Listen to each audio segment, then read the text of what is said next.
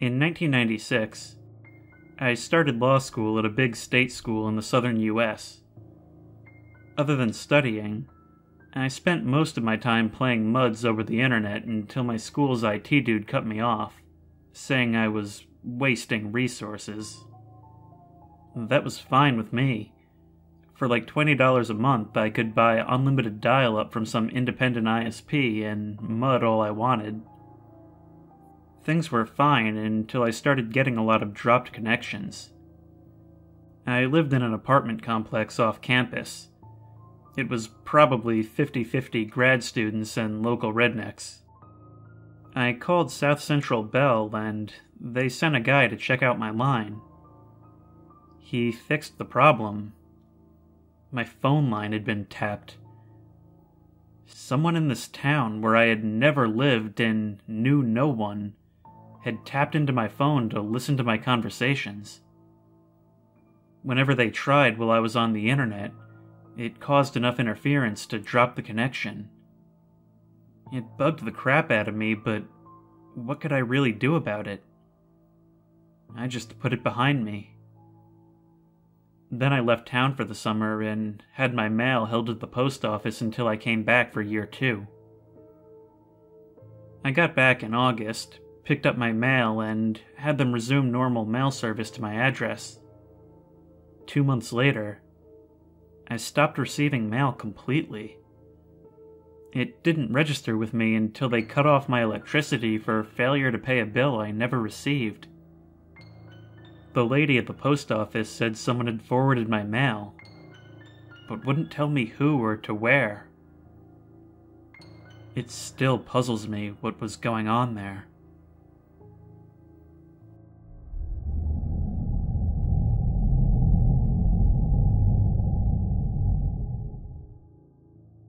One night, during a blizzard two winters ago, there was a crazy amount of snow and wind.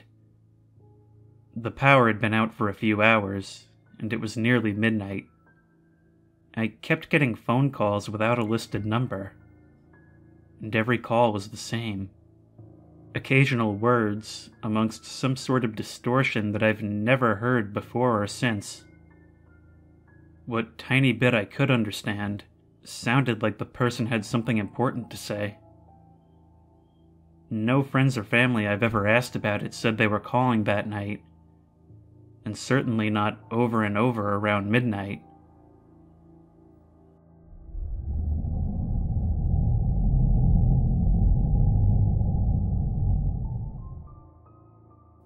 This was just over three years ago that it started. I remember the time because I had gotten out of the military about a month before the first call. When it started, I assumed it was just some jerk screwing with me. It didn't happen every day or on any kind of regular basis. Sometimes I would get two calls an hour apart, and sometimes I would only get one in a couple of weeks. They would always come from different numbers that I couldn't get any results for from searching online and when I called back, it would always just ring. I let it ring for about five minutes once and got nothing. They were always the same. I would answer, and a man with no accent that I could identify would say, What are you doing now? The first couple of times I got the calls, I was kinda just having fun with what I thought was a wrong number by telling him exactly what I was doing like cooking dinner or having a cigarette. Every time I said what I was doing, he would respond with, mm hmm. Like you do when someone is telling a story and you want them to keep going. After a few calls, I stopped messing around and started demanding to know who it was and getting mad. It was the same thing.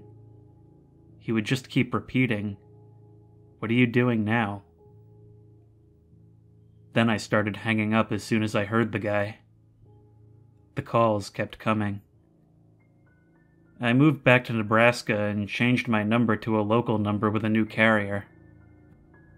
I didn't even have the phone for a full day before I got the call again.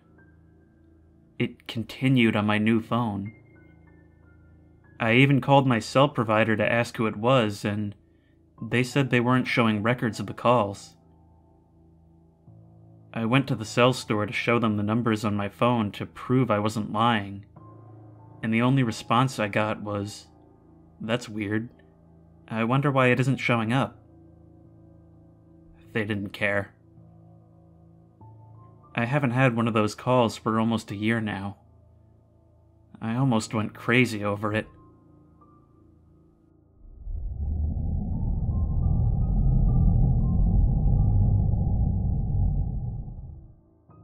I did tech support for a global fast food franchise.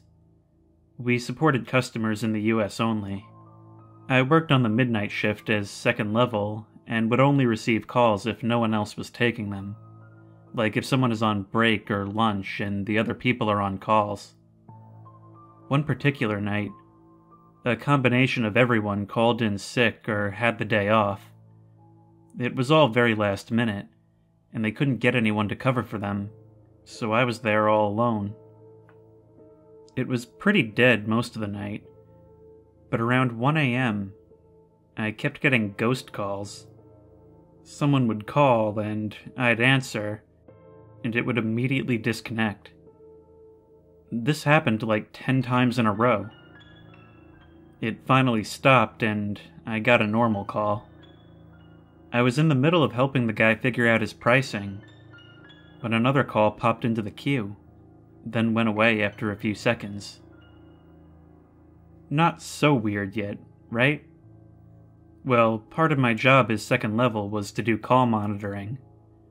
I would listen in on recorded calls and score the agent on how well they did. All calls were recorded, and I simply went through the logs looking for relatively low talk times so I wouldn't be there doing it all night.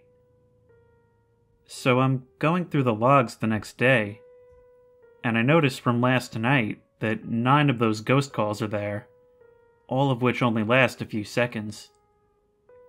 The tenth one, though, was nearly 20 minutes, which I knew was impossible. I decided to listen anyway. It had me with my greeting, saying hello a few times, and then silence, which I guess is where I hung up. It remained silent for a good six minutes. Until I heard a woman faintly sobbing and asking if anyone was there. The sobbing continued for a few moments until I heard a man yelling in the background, and her yelling no, and then muffled sounds of rumbling around of some sort. Then it was silent until there was a click. So, I mentioned the normal call I got because, for some reason, I decided to listen to it too. It was normal for a while, until it got to the part where I think that call came in. On the recorded side, it made a clicking sound like the call had ended. It was silent for a few seconds. And then this soft chanting began. It was saying, Om Mani Padme Hum, which is a Buddhist mantra which I knew immediately. It was a very soft, low hum with a deep voice. That lasted for a few minutes, maybe two, until it clicked again and went back to the normal call. I can't explain it to this day.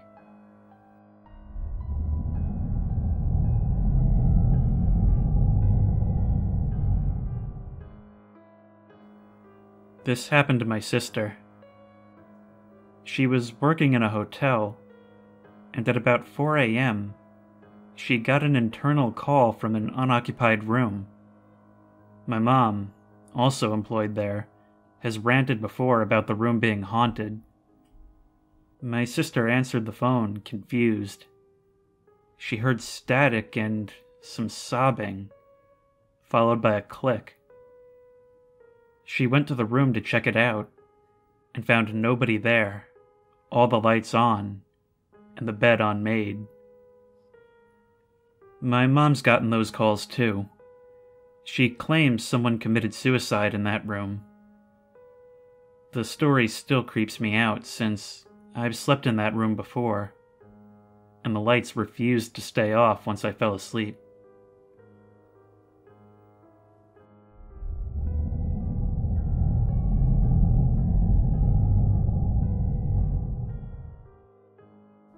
So, last week, I'm sitting in my room doing nothing when the phone rings.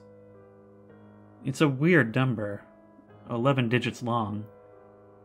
I just figure, screw it. I can't even remember the last time someone called me. I'm curious. Some weird music starts playing, but I can barely hear anything because the sound quality is horrible. I figure it's probably a prank, so after a while I hang up and go back to doing nothing. Yesterday, I was doing nothing again when the phone rings. It's a weird number, but not the same one as before. This one is 10 digits long. I pick up my phone, and the same music with horrible quality starts playing again.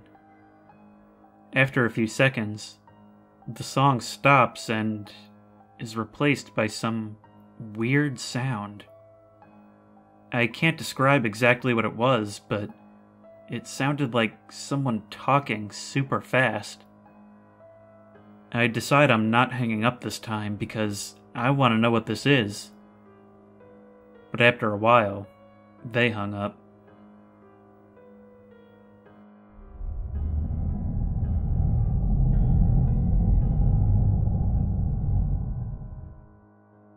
This isn't paranormal or anything, but when I was nine, I answered the phone, and a guy with a very deep voice said, Hello?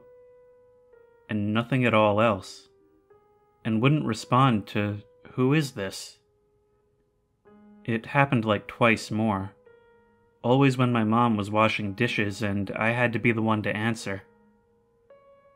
Then I had some dream that my teacher was telling my class that if anyone gets a phone call like that, they would die. Also, I remember someone on X saying they were locking their back door for the night, and as they did, they instantly got a text message saying, Open up for Silly Billy. That one story creeped me out for a while.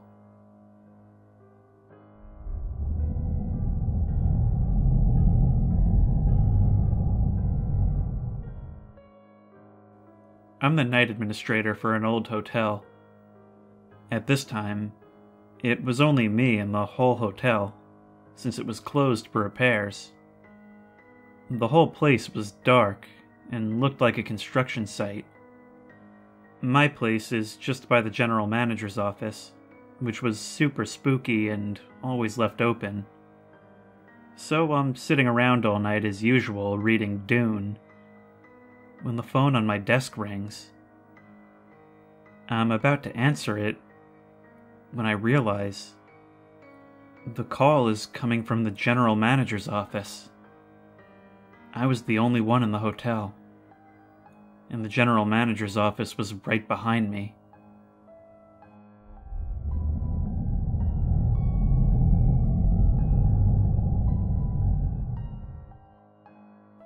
One time, I was staying the night with a friend, and I left my phone downstairs on her couch.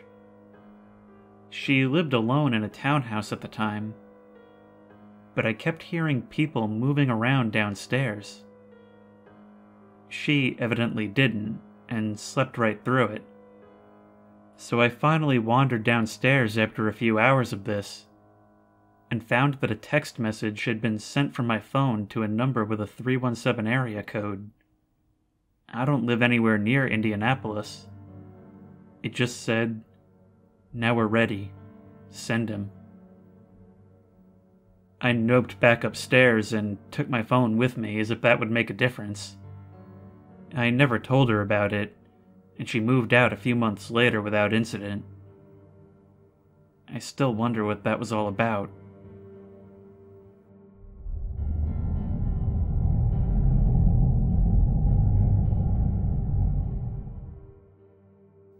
I live in an old house with lead paint and asbestos everywhere. As a result, my phone signal is weak. While talking on the phone, I always hear an odd, consistent beeping. Wires apparently get crossed, and I hear weird random things, like music or other people talking. I've had two long distance girlfriends I talk to for hours on end each night. The first was named Kaylee when we were about 14 or 15. We talked nightly for three to four hours for nearly six months.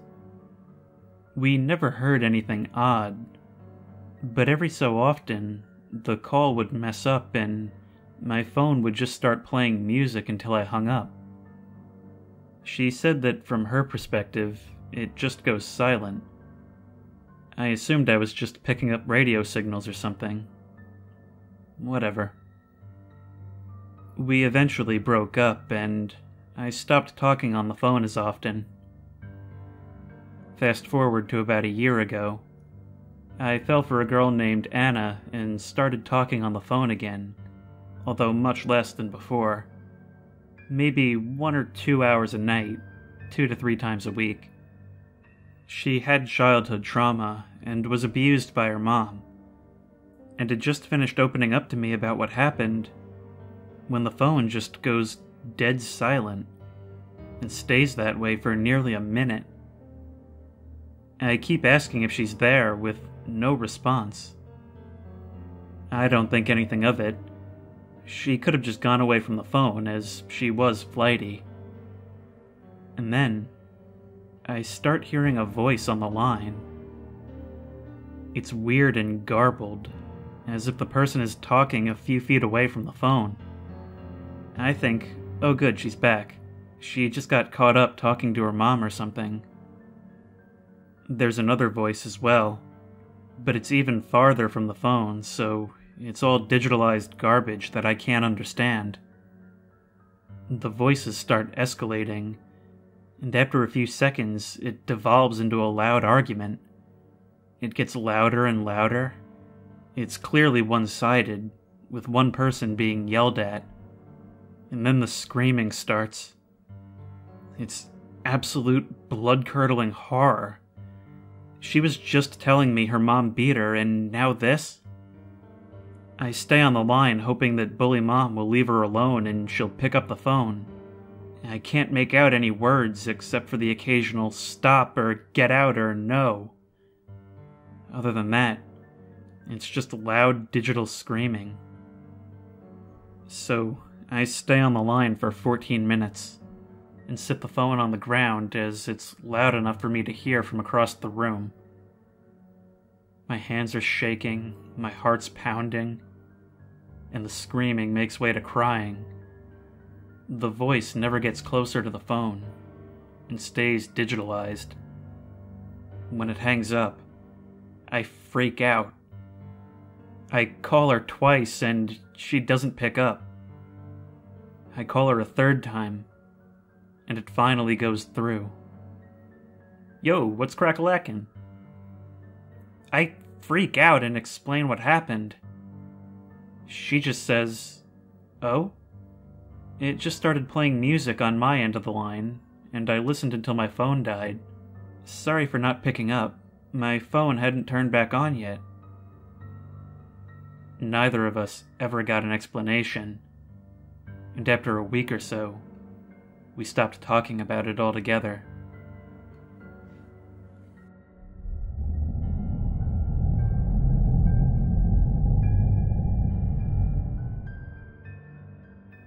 I work overnight for a haunted pet boarding facility inside a pet store. All the phones in the store have the same ringer the hotel, the registers up front, and the in store vet. I'm the only person in the store at night, and half the lights shut off after hours. At 2 a.m., I'm taking lunch in the lobby when the phone rings at the front, the ringer echoing throughout the store. And I think about how weird it is to have the phone go off at 2. And then I remember. When the store closes, the phone doesn't take calls, and instead plays an automated message.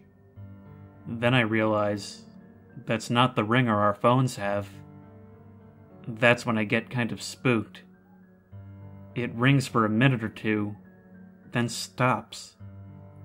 There's silence for a couple of seconds, and then two thunderous bangs ring through the store, like someone slamming a metal trash can against the wall. I just sit there and finish my lunch and go back to work. I've had weird experiences working overnight, but that was the only thing I legitimately couldn't explain.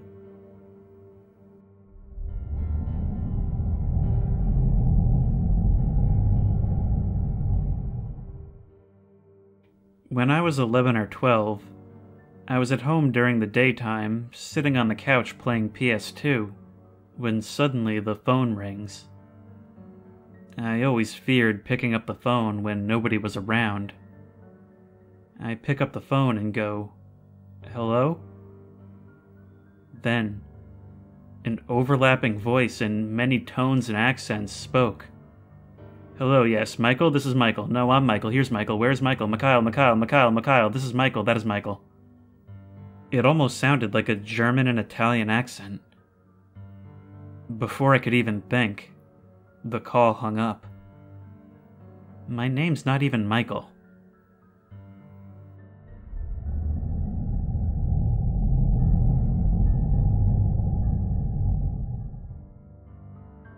Several times at my job, I've gotten the same odd phone call. I'd pick up the line, and there'd be no one there. After several hellos on my part, there'd be a tone, and then a recording would start. The voice sounded like the usual female phone recording voice, but this is what it would say every time You're going to die. Then the line would disconnect itself. My coworkers thought I was just screwing with them, until one of them picked up once and got the same recording. It was very unsettling each time. I figure it's just some kids doing a prank, but still.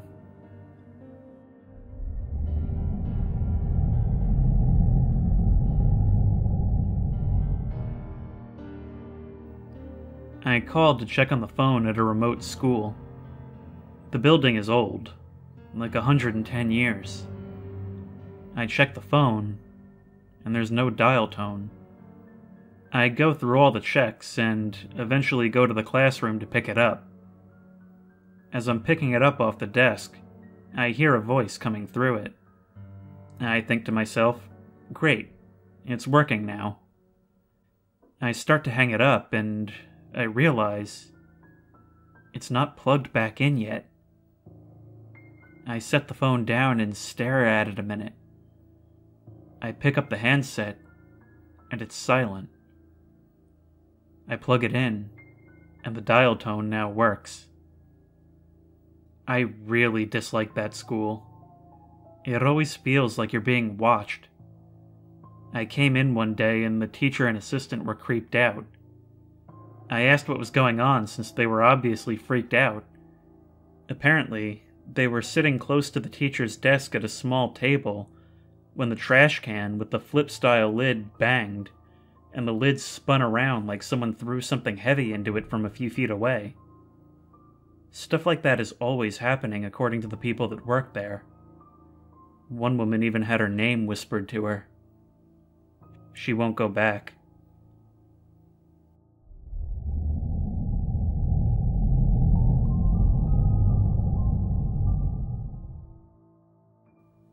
My parents were always super religious.